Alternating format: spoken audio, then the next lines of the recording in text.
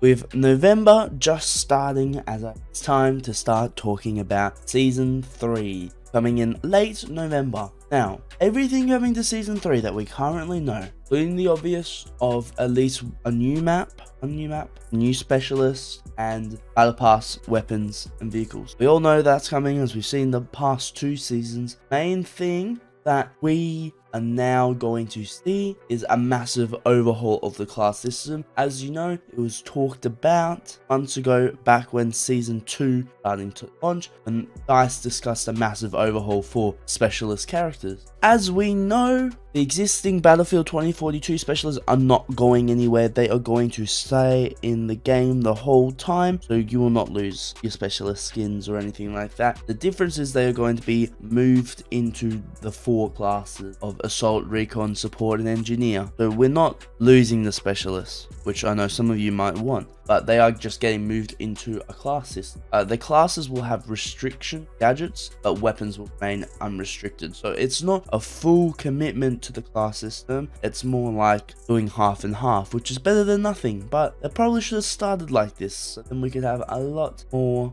aggression instead of all this random specialist hero shooter stuff. Now, because the game isn't exactly doing the best, there is not too many leaks going around, but Insider Gaming believes that Season 3 will launch on November the 22nd. We are still waiting for Hourglass Discarded Manifest and Breakaway to be overhauled by DICE, so we should see an announcement of those coming very soon, just like what happened our previous. What do you guys think? Are you excited for Season 3? I am personally going to try it out, but just going to not dive headfirst into it, let's just say that, because we got COD that's out now. I'm probably going to be making a video on COD Battlefield talking about how different both the games are in in a state of form. If you're interested in that, stay subscribed. That season 3 is coming. Of course, I'm going to be playing it, checking it out, giving it a review for you guys. Let me know what you guys think about season 3. Do you have any hope for them to maybe add an extra map, or do you believe they're just to half ass it and just go to one map, one specialist, and two weapons, plus three,